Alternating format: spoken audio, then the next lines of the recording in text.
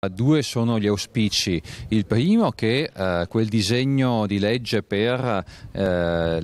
la, rubricazione del ponte come monumento nazionale eh, che l'onorevole Racchella ha presentato alla Camera, siccome va comunque convalidata anche al Senato, possa essere unificata con precedenti proposte che sono state fatte da altre forze politiche per dare un segnale molto forte che la volontà di farne un monumento nazionale non ha colore politico, non, ha, eh, la, dire, non è di un governo governo che poi passa, ma è un'esigenza eh, di questa comunità e della nazione. L'altra è che il progetto di restauro, uno dei più ambiziosi e più importanti degli ultimi decenni, ugualmente venga portato avanti con almeno lo stesso impegno che ha avuto la mia amministrazione.